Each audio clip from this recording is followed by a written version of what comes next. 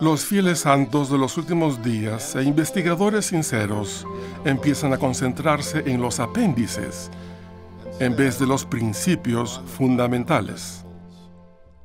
O sea que Satanás nos tienta para que nos distraigamos del mensaje claro y sencillo del Evangelio restaurado.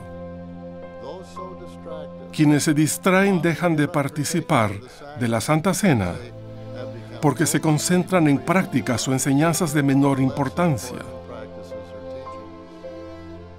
E incluso se preocupan por ellas. Otros quizás se centran en las preguntas y dudas que tengan. Naturalmente, tener preguntas y dudas no es impropio con el discipulado dedicado.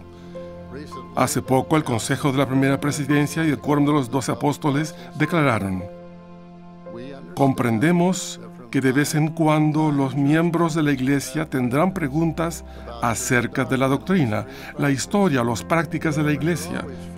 Los miembros siempre son libres de hacer tales preguntas y procurar mayor entendimiento.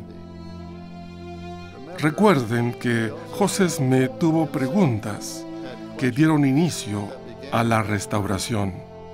Él procuraba el conocimiento y al igual que Abraham encontró las respuestas a las interrogantes más importantes de la vida.